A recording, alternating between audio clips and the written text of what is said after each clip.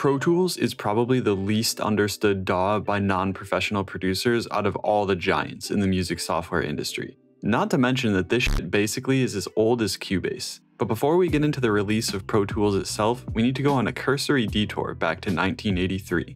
The origins of this program go back six years before it was released with a piece of hardware by EMU called Drumulator. Two young high school age students named Evan Brooks and Peter Gotcher were very interested in Drumulator and thought it had applications way beyond what its current scope was. They created a company called DigiDesign and created a few nifty programs during their time as curious engineers. These led to the inevitable release of their program called Sound Tools in 1989, which would be the precursor to Pro Tools. The next logical step for the two would be to venture into creating a fully capable recording suite only a couple years later. At this point, Pro Tools history differs from many of its peers, mainly because the first version of Pro Tools cost a whopping 6 grand. Holy fuck.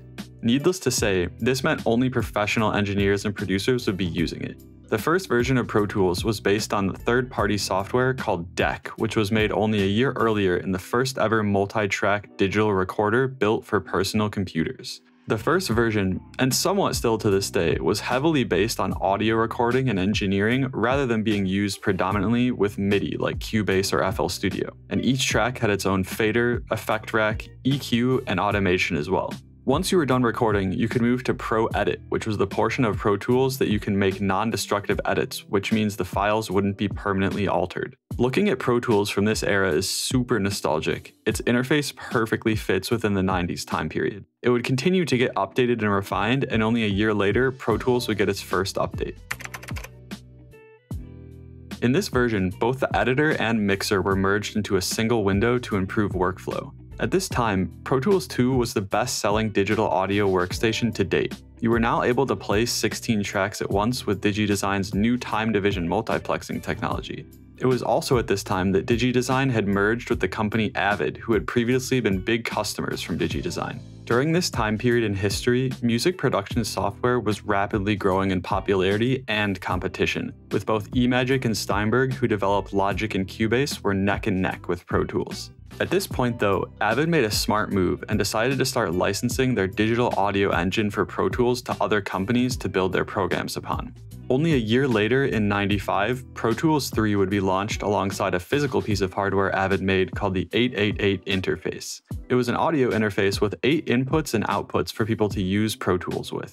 They also started bundling their own plugins with Pro Tools, including EQs, reverb, and dynamics.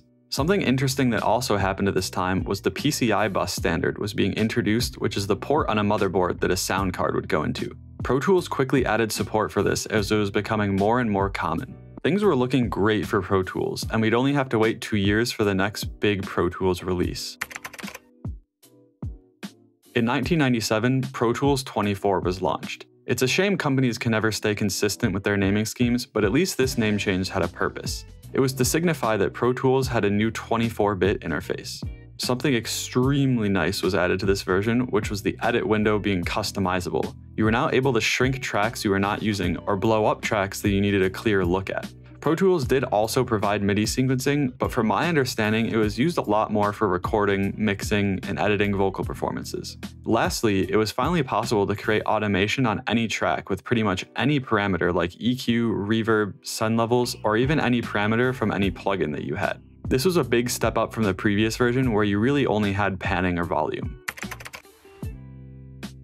Two years had passed and we received Pro Tools 5 in 1999. This was a big one because for the first time, Avid had introduced MIDI editing into Pro Tools. This is the version that Pro Tools came into its own as a fully functional DAW receiving a fully editable piano roll with quantization and automation.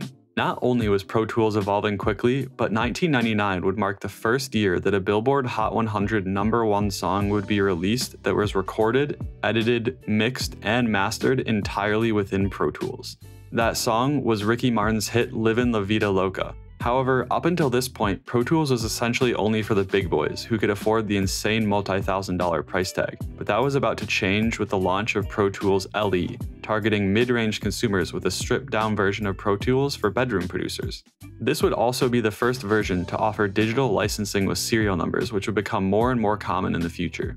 To give even more tools to engineers, DigiDesign added their first de-essing plugin to Pro Tools 5. It was becoming increasingly common to have more and more digital tools to polish the vocal performance of an artist, and automatic de-essing was an extension of that.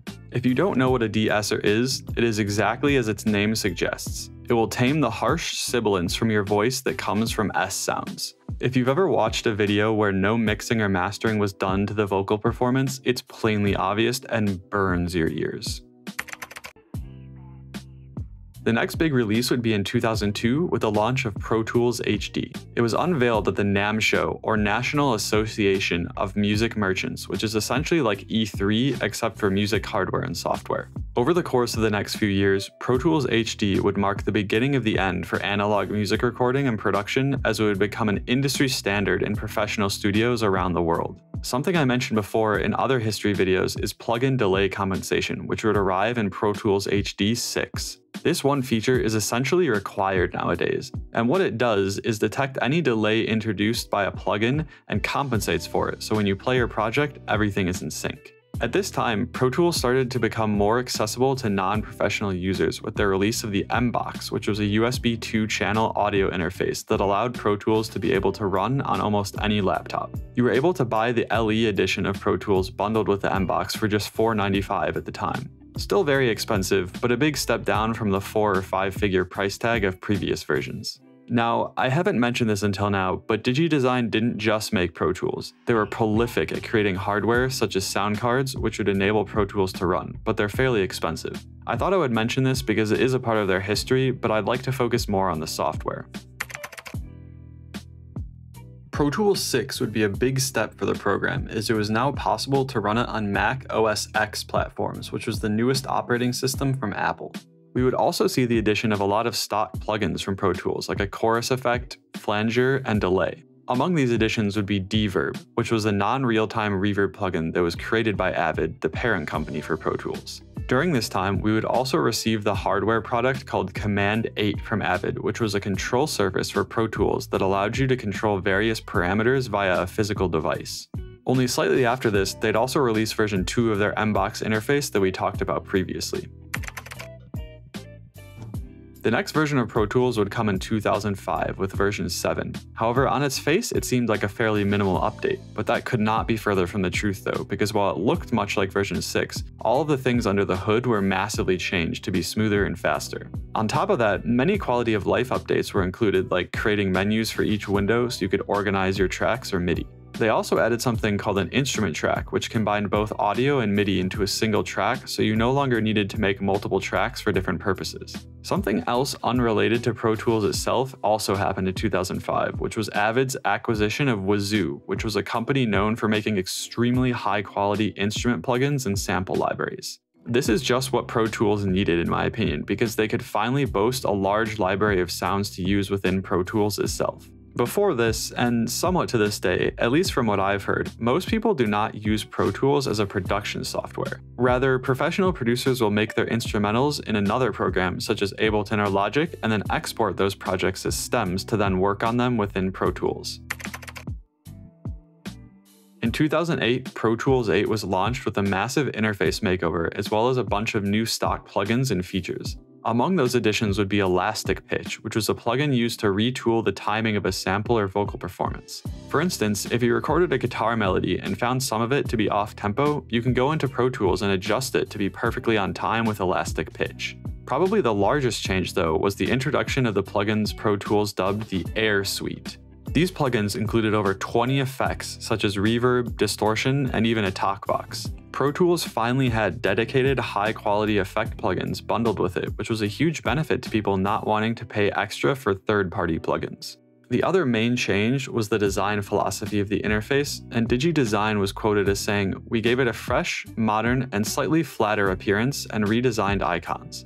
The last thing in Pro Tools 8 that's noteworthy in my opinion would be the fact that they also started bundling instrument plugins as well one of which being Xpand!, which is one of the best plugins for ambient sounds like pads or strings. Avid also decided to drop the DigiDesign brand name and consolidated all the companies that Avid owned and rebranded all of their products as just Avid. At this point, it was pretty clear that Pro Tools was here to stay and had established itself as one of the giants in the industry.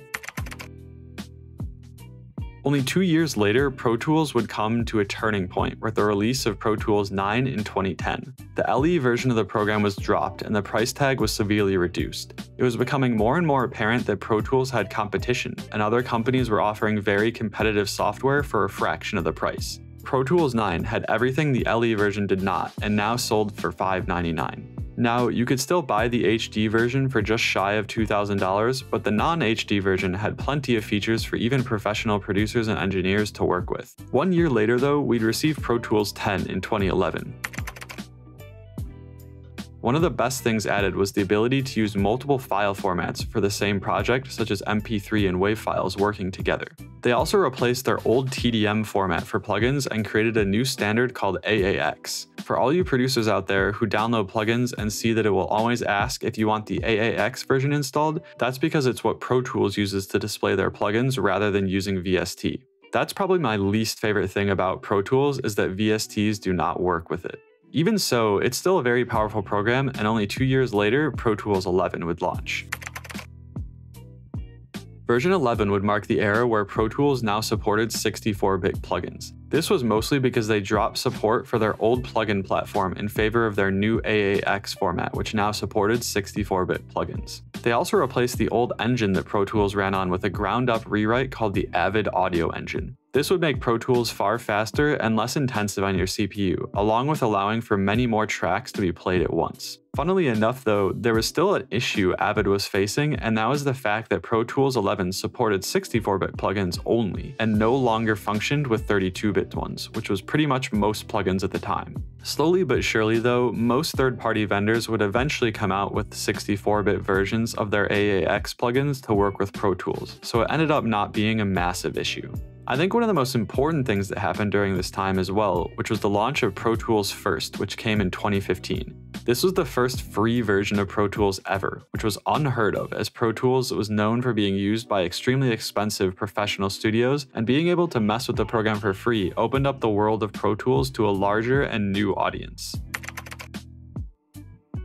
Shortly after that, Pro Tools 12 was announced with the ability to rent Pro Tools for $30 a month if you didn't want to spend the large chunk of change to buy it outright. We also got the Avid Marketplace, which was a library of plugins and samples you could purchase from Avid themselves. This included what they called the 11 Effects bundle that came with a lot of digital versions of analog effects like a guitar amp and Stompbox. And now we arrive in the present day, where Pro Tools has a vast amount of features for almost anyone under the sun. In 2018, they changed their naming scheme again to instead of Pro Tools 13, we got Pro Tools 2018. Each version after that would be named after the year it came out instead of a nice orderly naming scheme. Nothing against Avid, but goddamn is it annoying when companies can't keep their naming consistent. Anyways, over the next few years we get updates like the integration of Melodyne into Pro Tools because it was used very often for vocal editing. Most of the updates would be internal and not visible to the user, but important nonetheless. This video was probably the hardest one to make out of all the research I've done on different programs because its history goes back so far and it's also not your traditional DAW. Pro Tools is much more than that, and it single-handedly changed how music was made in the 21st century. I hope these videos give you some appreciation for the hard work, blood, sweat, and tears that goes into making these awesome fucking programs for us to use to make the music that we love. Thank you guys for watching, stay safe out there, and I'll see you in the next video.